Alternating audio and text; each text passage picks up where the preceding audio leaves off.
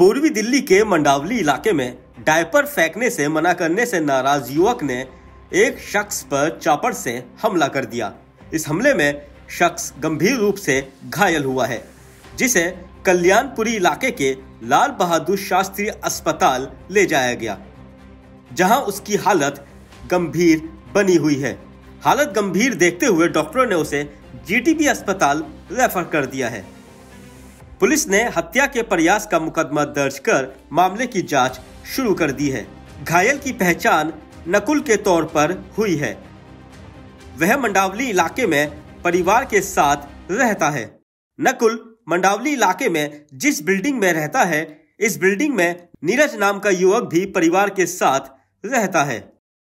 ये परसों झगड़ा हुआ था इनको पुलिस वाले के पास गए थे पुलिस वाले ने कंप्लेंट नहीं लिखा इनका। झगड़ा किस बात को लेकर? ये बच्चा लेटिंग करता है जीने पर रख देते हैं। जीने तो जो भी आता जाता है, उसको दिक्कत आती है। उस बात को मना किया जाता है कि लेटरिन जीने पर मत रखो।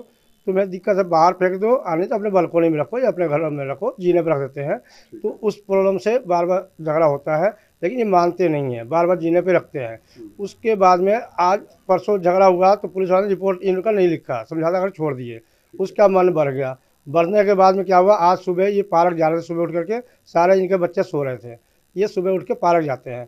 पार्क जा रहे थे तो ये गाला गलौज करने लगी। तो गाला गलौज करी तो इन्होंने क्यों झगड़ा कर रहे हो? उसके बाद इन्होंने वो जिसे बकरा काटते हैं, निकाले, काट दिए इनको। सर पे वार कर दिए, हाथ पे वार कर दिए। अब इनका, लेकिन इन लोगों ने कुछ नहीं बोला है। नकुल के परिजनों का आरोप है कि नीरज अपने बच्चों का गंदा डायपर, सीढ़ियों पर रख देता था।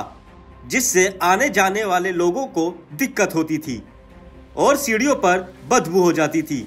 इस बात की शिकायत जब भी की जाती, नीरज झगड़ा करने लगता।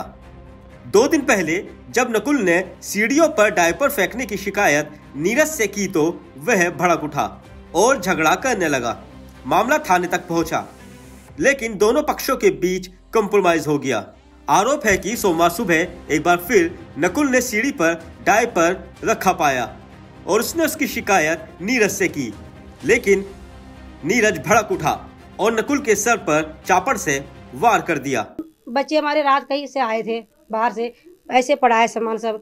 सुबह हुआ हमने बोले कि चलो ये वो सुबह अपना नहाते धोते सात बजे वो सात आठ बजे तक अपने पार्क निकल जाते हैं नहा धो के। किसी से कोई लेना देना नहीं है। सर हम अंदर अपना सो रहे थे अब आपस में चलो किसने क्या बोला? पहले हमने नहीं सुने कि हमारे हस्बैंड ने बोला कि उन्होंने बोला है। अगर हमारा आदमी का हमें इतना लग जाए पता कि अगर अगला आदमी नहीं कुछ बोलेगा तो हमारा आदमी कुछ बोलेगा नहीं। चलो गाली उसने दिया चाहे इसने दिया। गाली की बात हुई थी। गाली के बाद भी बोला कि बाहर निकल के बोलो। चाहे हम- आदमी ने बोला उसने बाहर निकल के बोलो तुम्हें हिम्मत है बाहर निकल के बोलो। आदमी ने जैसे बाहर निकला सर वैसे ही अटैक हो गई। जैसे बाहर निकला वैसे उसने अटैक कर दिया। ना मौका दिया कि मैं आदमी को पकड़ूं कि मैं उन्हें समझाऊं।